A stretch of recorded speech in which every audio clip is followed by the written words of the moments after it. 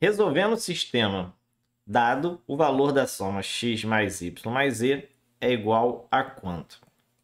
Bem, a gente tem diversas maneiras, né? Quando a gente está dá de cara aí com um sistema linear um pouco maior do que o convencional, né? Que é um, três incógnitas e três equações aí nesse caso.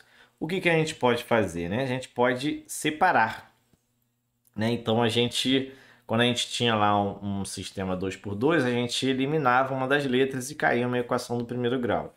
Aqui eu também vou fazer mais ou menos essa ideia. Eu vou pegar aqui de 2 em 2 e vou eliminando uma das letras.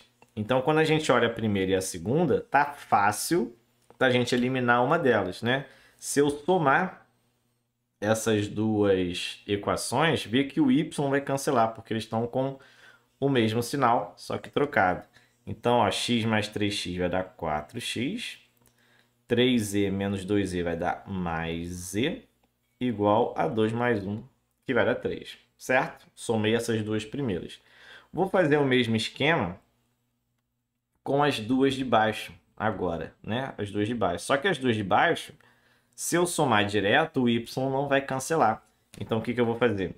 Eu vou multiplicar essa daqui, ó, por 3, porque aí o y ele vai ficar menos 3, e aí vai dar para cancelar. Então, multiplicando aqui por 3, vai ficar, ó, 9x menos 3y menos 6z igual a 3, certo? Multipliquei tudo por 3. Uh, e a outra aqui, a de baixo, eu não vou mudar. Tá? Por quê? Porque quando eu somar, que, que vai acontecer? O 3y vai cancelar com 3y, né? Mais 3 com menos 3y vai cancelar. Então vai sobrar 9x com x, 10x, menos 6z com z vai dar menos 5z, e 3 menos 3 vai dar 0. Ó. Ficou até bonito. Então, nota que agora a gente tem duas equações com duas incógnitas. Então, a gente já cai aí em, uma, em um sistema que a gente já está mais acostumado a resolver, que seria ó, 4x mais z igual a 3 e o 10x menos 5z igual a zero. Então, o que, que eu vou fazer? Aqui está bonito para o z cancelar também, né? Então, se eu multiplicar essa primeira equação aqui por 5, o que, que vai acontecer? O 4x vai virar 20x, então já vou trocar aqui, ó. O 4x vai virar 20x, o z vai virar mais 5z, e o 3 vezes 5 também vai dar 15, certo? E agora a gente pode somar bonito isso aqui, ó. Quando eu somar o 5z com menos 5z vai cancelar, né? Essa foi a ideia do problema. 20 com 10 vai dar 30. E aqui 15.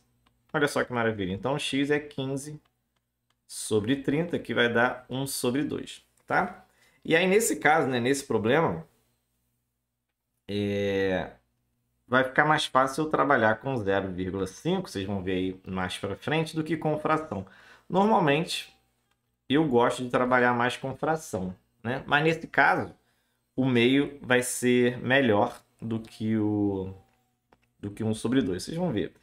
Agora, para eu descobrir o valor das outras letras, eu vou substituir nesse valor subindo, né? Então, primeiro, eu vou escolher uma dessas duas, substituir o x, tá?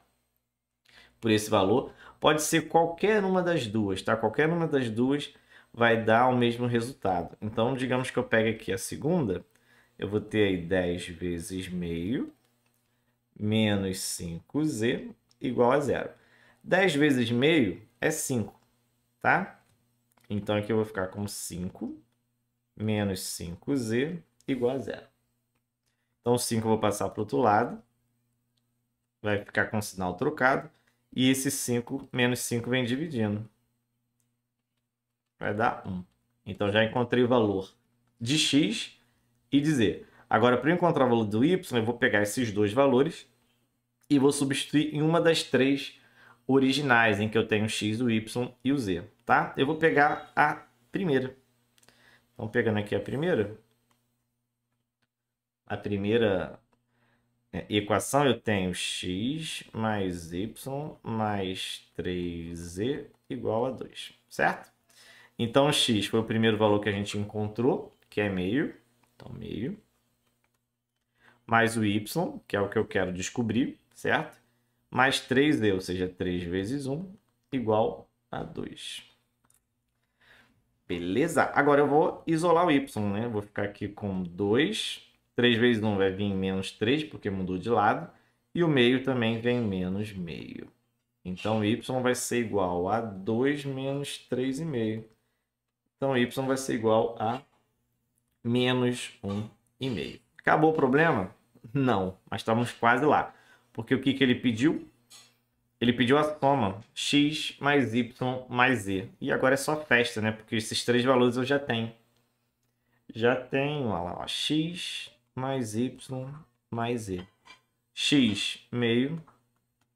y, acabei de calcular, menos 1,5. E o z é 1. Então vai dar meio. Opa. O meio eu posso tomar com 1, então vai dar 1,5. E menos 1,5 vai dar zero. Olha só. Fizemos conta para burro para dar zero. Muita conta para dar zero. Letra E de equação.